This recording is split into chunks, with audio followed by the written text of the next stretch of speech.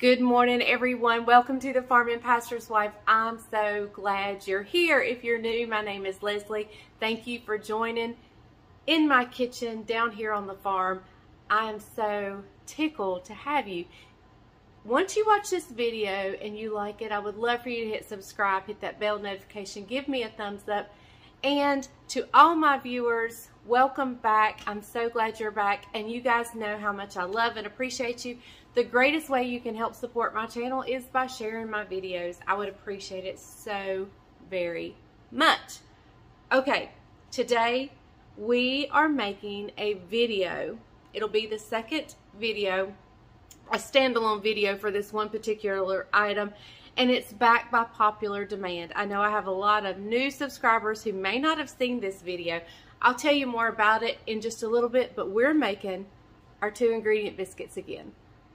Hey, darling, can I tell you what's been on my mind? Sick and tired of the nine to five in the city life. Hey, darling,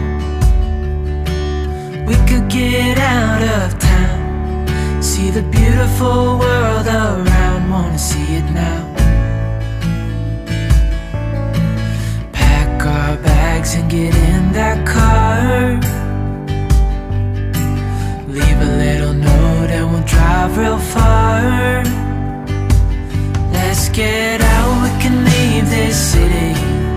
Let's drive to the open air. Yeah, the countryside Okay, so this is a very special item for me. Um, back when my video, my YouTube channel was just beginning to grow and gain some traction a little bit, I made a video on two ingredient biscuits. And lo and behold, y'all, it absolutely took off. And that video is kind of the video that put my channel on the map a little bit. So, um, I have only made one standalone video for two ingredient biscuits. I've never uh, redone it. I have made them in like a full meal video and made them that way. And so that there are other videos out there on my two ingredient biscuits, but I wanted to do a standalone video. Several have asked for me to redo it, do it again. The first time I did it, of course, it was back when this kitchen was blue and it doesn't look like it does now. So um, we are going to make two ingredient biscuits. So let me grab my two ingredients and I'll meet you back right here. Okay everyone, so your two ingredients that you are going to need are self-rising flour and heavy whipping cream. That is it. On my first video, I did an extra sprinkling of salt. Your self-rising flour has salt in it. Um, I did a sprinkling of salt just because I liked a little extra, but I made sure it, everyone knew it was optional, and I got scolded and said, that's three ingredients. So I'm not going to put the extra salt in this time, just so you know you don't have to have it. It's only a two ingredient biscuit. But anyway, all you need, that's it. All right, so let me put my apron on. I don't want to get my Valentine's sweater. We're almost at Valentine's Day, so I don't want to get it messed up. Plus, I got my new apron here at, oh, it's a little, comes down a little too far. Um, at St. Martin, went on our vacation. Got it there, so it's my first time wearing it. But anyway, so all you need to start is I need a measuring cup for my heavy cream. But all you need for self-rise your flour is two cups. So I'm going to measure out two cups and I'll be right back.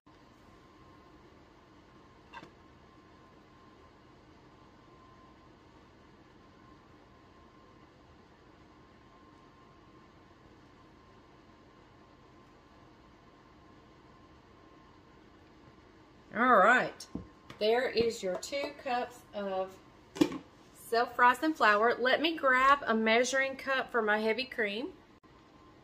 Okay guys, I get asked a lot of questions on my old video. Can I use regular milk? Can I use buttermilk? And I would say no, not without adding, you would need to add lard to this. If you add a little bit of lard to this, you could use your buttermilk or your regular milk. But this has the fat in it that is needed in this um, recipe. And so since we're making this recipe, it's a two ingredient, that's the ease of it all. Now, sometimes, let's talk about heavy cream. Well, hang on, let me pour it in here. I'm going to start with a cup and a half.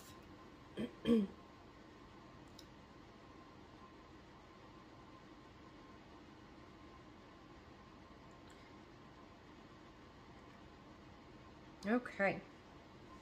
These measuring cups are so cool. There's the, it's a cup and then there's a line in the center for um, the half.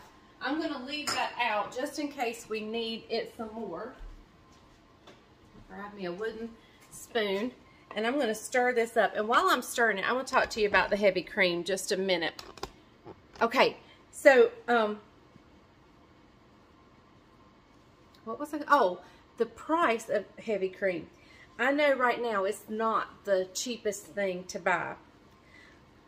Um, but like everything else, I'm sure the the um, prices are going to stabilize. Uh, I did see last night, you know, we've been complaining about eggs. Oh my goodness. And I did see last night that um, egg prices have stabilized. Now, uh, my dough is pretty wet. So I'm going to have to incorporate just a little bit. It's a little wetter than I like it. Um, so I'm going to have to incorporate a little bit of self-rising flour just on my board. But anyway, I know this is not the cheapest thing in the world to buy right now, but have you ever been making like a southern meal where you're frying chicken, you're making gravy, you're making mashed potatoes, you only have half a gallon of milk, you've used a bunch of milk in your gravy and you've used some milk in your mashed potatoes, and you get ready to make your biscuits and you're like, ah, I don't have any buttermilk and I'm out of milk, I can't make my own buttermilk, what do I do? If by chance you have heavy cream, this is a great time to use it. Not to mention that these biscuits are just a nice splurge every now and then because they're so good. They are so good. Okay, so I'm going to tilt you guys back down to the cutting board or whoopsie. Took you a little far that way, didn't I? All right, let's try this again. Sorry, guys. okay, there we go. So I'm going to sprinkle a good amount of self-rising flour on my board because my dough's a little wet.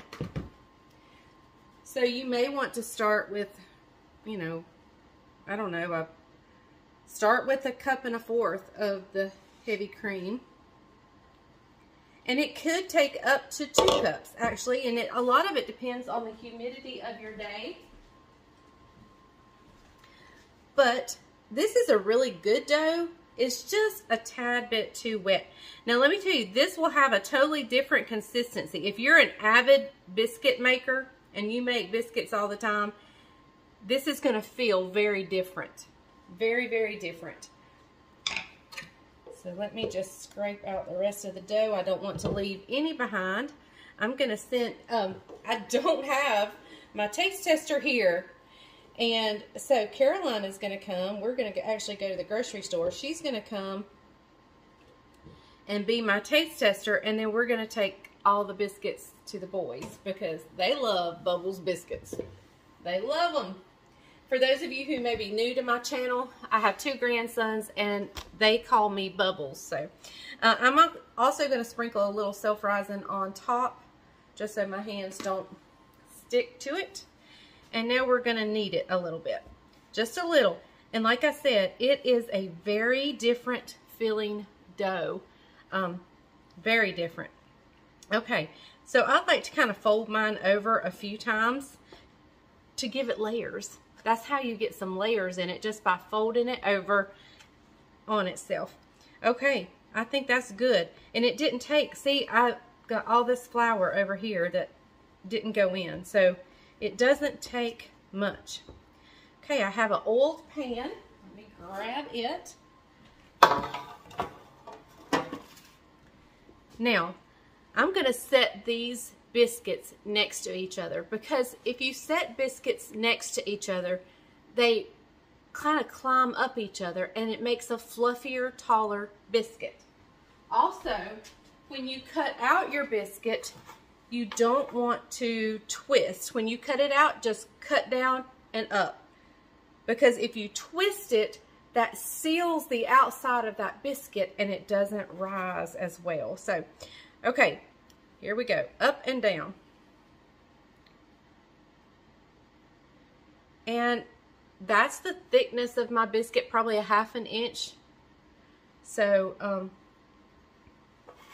I'm just going to roll this in that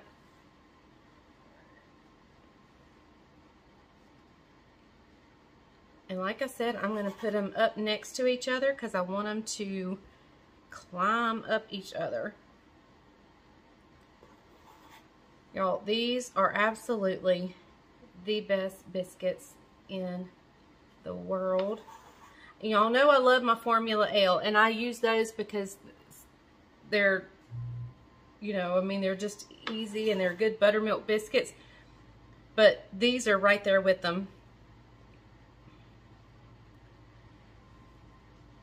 Now, if you want to see the videos on my Formula L biscuit and my three ingredient biscuit, which is just buttermilk, self-rising flour, and some lard, I will, um, because let me tell you, you don't have to use the baking soda, the baking powder in your biscuits because if you use self-rising flour, that stuff's already in there. So, I mean, if you have a recipe for biscuits that's tried and true, don't change. But you might want to give these a try and you might want to give my three ingredients, which is using self-rising flour. And I'll also link my Formula L biscuit video. I know Formula L can't be found everywhere. So, um, that's a hard one for everybody to make. But if you are in the South and can get a hold of Southern Biscuit Mix Formula L, uh, I do have a video on that, but all you really need is the recipe on the back of the bag. It's foolproof.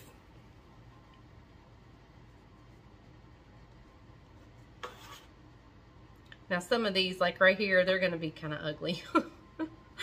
we'll, we'll try to make them pretty. Here we go. That's a little better. I like the smooth top. And what I'm going to do with this is I'm just going to roll it into a final biscuit. Okay. All right, so I have my oven set at 425, um, anywhere between 400 and 450, you know, depending. I do 425. I just do in the middle. So we're going to put these in. And I'll see you when they come out. Okay, everyone, can you see who my taste tester is? And look, we're like the Bobbsey twins. And it wasn't planned. It wasn't planned.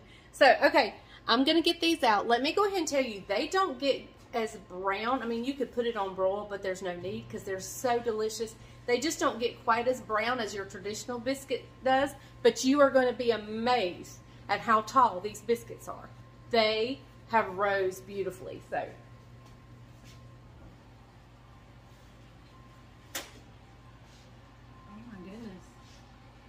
Look at that. Look at those biscuits, y'all. They are so good. Okay, I'm to plate one up, get her some jelly or butter or whatever she wants. And we're to let her taste them for you. And then we're to take the leftovers to Jamie and the boys. Okay, everybody, I told her to crack it open so you guys can see the inside of it. Oh, look at that biscuit. I want it so bad. It's good and hot. And she's got some apple butter here she's going to put on it. I'm going to slide the camera back just a little bit. Probably doesn't need apple butter, but I love apple butter. Mm. Nothing beats a homemade biscuit. I know. And these, y'all, are so good. I mean, these are so good. Only two ingredients. It doesn't get like if you can't make biscuits, you can definitely make these biscuits and they're so good. take a bite of one without anything on it and just give them that there's enough salt, that just let them know that it's flavorful just as a biscuit. Mm-hmm. Buttery. It is so Mm. good. Buttery. And did you see me put any butter in there? Absolutely not. You need that you- heavy cream. Did you top them with butter? no, No. I didn't even rub butter on the top, y'all. Um, Mm. it, that heavy cream, the fat in the heavy cream is needed. And it just makes a delicious biscuit. And y'all, I'm telling you, they wrote, they doubled in size, um, at least. So if not, let me measure one. Okay, guys, I just measured one of them and it was two inches. Two inches. And it only started out as a half an inch, so it more than doubled in size. So, um, Caroline has devoured her biscuit. so, anyway, there you have it, guys. The best biscuits in the world. Be sure to give them a try. I know heavy cream is uh, a little pricey, but when you want a really, re when you are having company or something and you want a really foolproof, delicious, fluffy, flavorful biscuit, this is the one you need to try. So, okay, guys, she's gonna get another one. She better hurry because we're taking the rest to the boys. All right, guys, we're going grocery shopping. I'll see you back um, tomorrow. So remember, the grease is hot enough, you can fry anything. Bye, y'all.